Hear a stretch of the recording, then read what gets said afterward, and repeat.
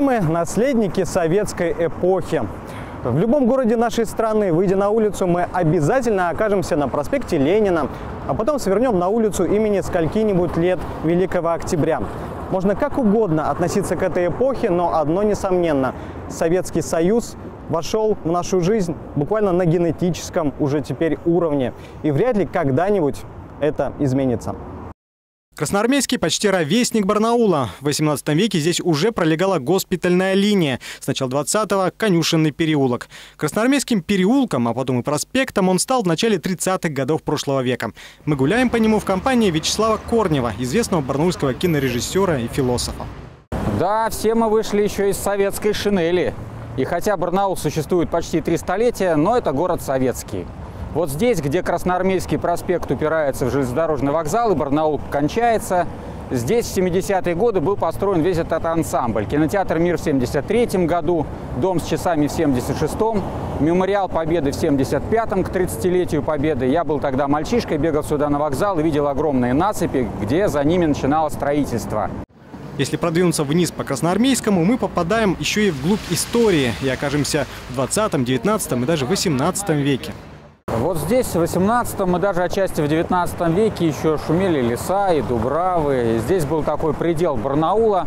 Охотничьи заимки здесь располагались. И вот как раз здесь, на месте администрации железнодорожного района, когда-то была заимка голландского купца, фамилии уже его никто не помнит. А потом филиал, наверное, барнаульский, фирмы «Рога и копыта». Здесь заготавливались, продавались шкуры. Сергей Федорович Чужакин рассказывал, что вот когда-то здесь уже в 50-е годы нашли, вырыли при строительстве целый клад этих шкур и черепов. Для самого Вячеслава Красноармейский – это часть его детства. Вот это мой родной дом, Красноармейский 101. Это был дом-близнец вот такой же общаги четырехэтажный, абсолютно так же выглядел. Мои окна выходили вот туда немножечко, во двор, с торца этого здания – Дальше все, до вокзала был частный сектор, вот с этой с левой стороны домишки одноэтажные. Там, кстати говоря, во дворе, в пустыре нашего дома рос настоящий дикий лук и разные редкие цветы. Дальше был хлебный магазин, рогалики за 5 копеек, свежие, привезенные этой фурой. Мы бегали, как раз можно было нарвать лука, поесть с хлебом свежим, горячим, сходить в кинотеатр, вот здесь премьера. Неудивительно, что одно из главных детищ Корнева, фестиваль авторского кино «Киноликбез», также долгое время проходил здесь, в кинотеатре «Премьера». Местные дворы до сих пор хранят своеобразное эхо фестиваля, граффити, выполненные участниками фестиваля. Это так называемая «Тихая галерея», где целый коллектив художников разнообразных нарисовал, по-моему, три года назад это было, картины к юбилею, кстати говоря, в том числе и Пушкина.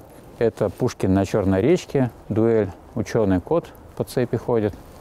Бывший кинотеатр Первомайский, Баваринский дом, гимназия Буткевич. Если внимательно присмотреться, то за фасадом новостройка рекламы проступает поистине обширная история Красноармейского.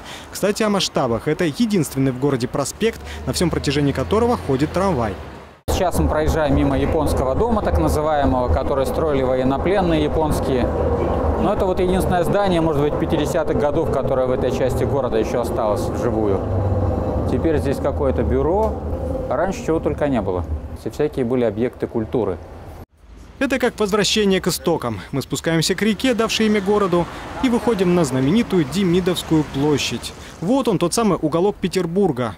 И тот самый столб, так похожий на памятник перед Академией художеств в Петербурге. Ветер перемен пощадил этот комплекс и оставил его таким, каким он был изначально. Правда, в 1921 году это была названа площадью революции. В честь этого надеваю буденовку. Только в 92 году ей было возвращено это историческое название Демидовской площади. Но я призываю не забывать историю революционную, советскую. Вот побывав в Питере, я понял, скажем, что многие музейные ансамбли, они восстановлены с нуля после бомбежек тех же самых варварских. И поэтому это скорее памятники советской власти. И поэтому многое из того, что мы видели сегодня и увидим, это тоже памятники советской власти, которая это бережно охраняла, восстанавливала и строила те же дворцы культуры и сохраняла памятники старины. На этом мы заканчиваем наше небольшое путешествие, а в следующий раз мы прогуляемся с вами по улице Никитина.